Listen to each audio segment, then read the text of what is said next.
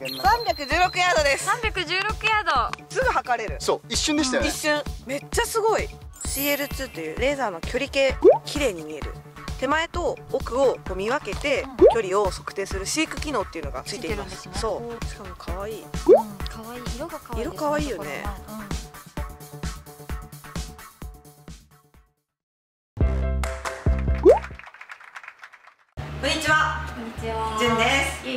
ゆいですゆいちゃん久しぶり。久しぶり。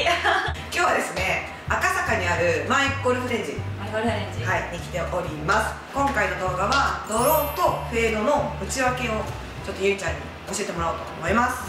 はーい。右足を半歩ぐらい。ここぐらい。引いてこんな感じ？でそうそうそう。ヘッドをちょっと外に出して。こううん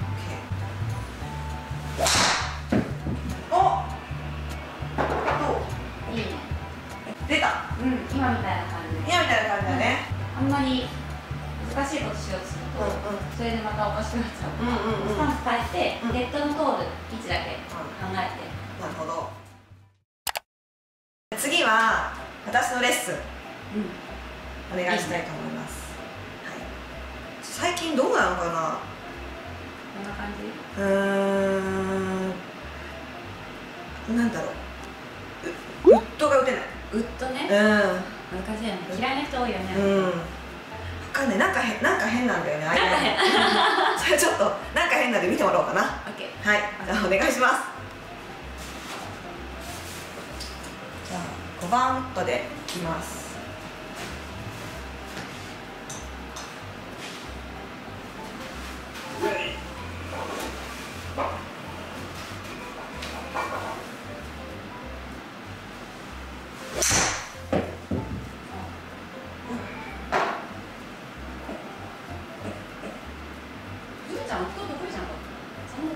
ね、大丈夫な人で大丈夫じゃない日があるんだよね。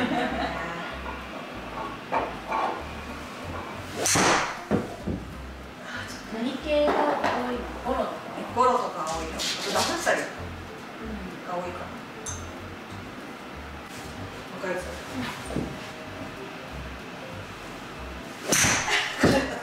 今みたいな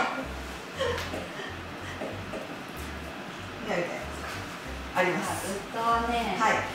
これウッドに限らずなんだけど、うん。まあゴルフクラブ打つときに、こうん。れアドレスしてうん。トップ作って、インパクトするときに体の軸が倒れちゃうとうダフっちゃん。なるほど。うだからああ。今なってたかな？うん。ちょっとこう体がこっち側に倒れて骨盤はちょっと上がっちゃう。そしたらヘッドが落ちちゃう。または逆に上がっちゃってトップする。うん。体が伸び上がってヘッドが地面に届かなくてトップする。ことになっちゃうんでトップ作ってもらったらできるだけここから自分の頭が伸び上がらないようになったりとかするとこういうふうにトップしたりするんであえて大丈夫。ちゃったから頭の位置自分の頭の位置がはいできるだけ動かないようにヘッドを戻すなるほど頭の位置をね。と体の軸ね、はい体とからうん。ここから体のこの軸が使われないうんうんうん。まっすぐで。わかりました。確かにあんまりそんなの意識したことないな。はい、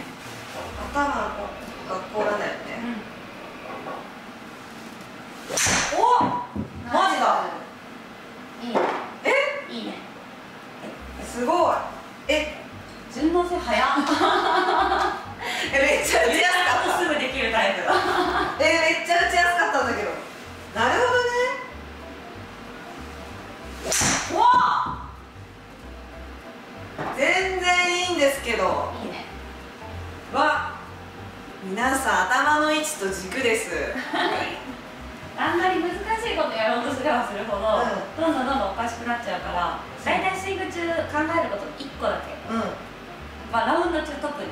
今日は頭の位置動かさない。それだけ。みたいな、じゃないとスイング中に、うああれやってこれやってこうやって打たないとと思っちゃうと、うんもうそれ考えてる間にスイング終わっちゃう。の1個だけでいいわあこれ早くコース行ってやりたいな。は次はねラウンドで、い次ラウンドでね。ゆいゆい先生にラウンドレッスンしてもらいたいな。うん。行こうそれは。行きましょう。はい。ということで皆さんずっと打てないなと思ったら頭の位置と軸だけ意識してぜひ打ってみてください。皆さんご視聴いただきありがとうございます。ありがとうございます。ゆい先生のレッスンがいいなと思った人はチャンネル登録とコメント高評価よろしくお願いしますお願いします。お願いしますはい。バイバイゆいちゃんのラウンド動画楽しみにしてね。はい OK はいすごい。めっちゃよかった。すごいね。すごい。なんか全然でもいきなりできる純ちゃんもすごいけどね。そうそうそう。なんかいつもいつもそう。なんかマイケルさんの時とかもそうで、おおえ？っていうぐらい簡単にこなすね。でも本当にやったら全然こうバンって。マジあれだね。運動神経いいから。こんなすぐできる。いやでもマジ感動した今。すごかったね。いやすごかった。全然違った